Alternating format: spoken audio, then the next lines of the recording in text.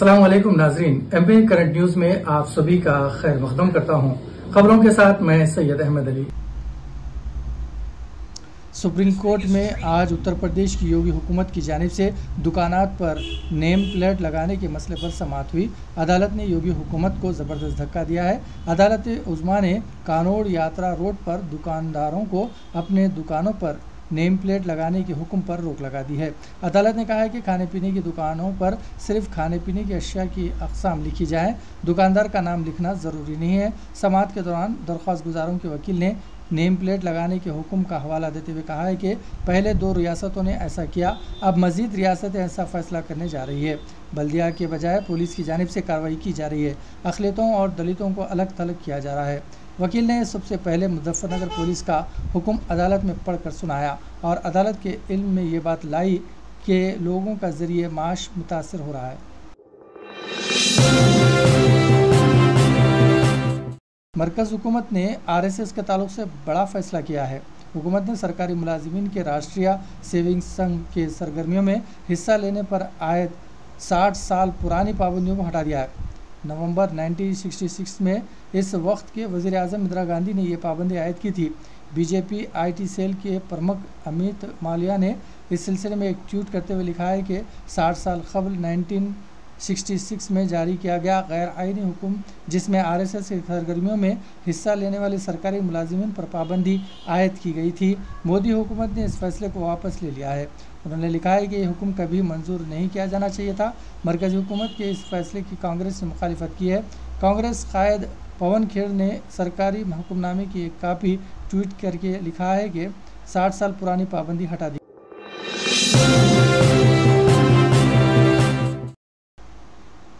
कचरा कुंडी में सफ़ाई कर्मचारियों को पाँच लाख रुपये मालियती हीरों का नेकलेस मिला।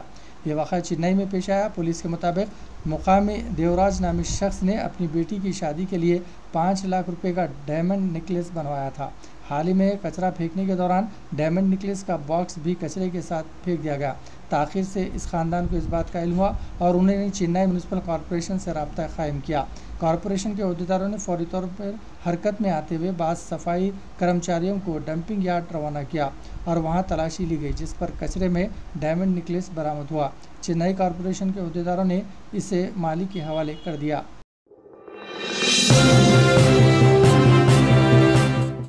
हैदराबाद शहर के सनत नगर में एक ही ख़ानदान के तीन अफराद की मुशतबा हालत में मौत हो गई।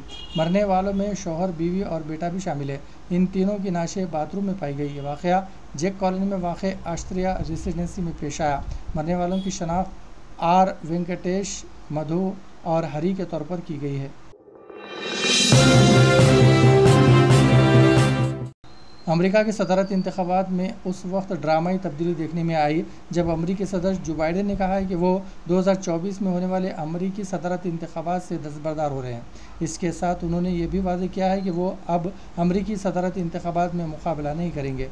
जो बाइडन ने हिंदुस्तानी निजात कमला हैरिस को सदारती इंतबात के अगले दावेदार करार दिया।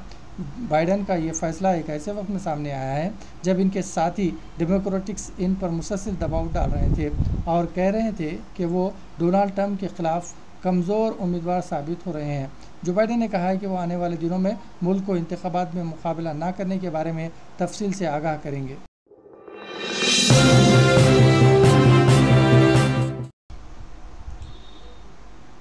शहर हैदराबाद में एक दिल दहला देने वाला वाक़ पेश आया। एक शख्स ने अपनी बीवी और दस माह की बेटी को कत्ल करने के बाद खुदकशी कर ली।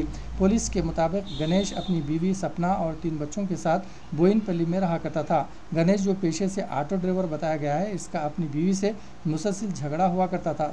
आज सुबह गणेश ने अपनी बीवी सपना और इनकी सबसे छोटी बेटी निकिशा का गला घोट कर कत्ल कर दिया, जिसकी उम्र दस माह बताई जाती है।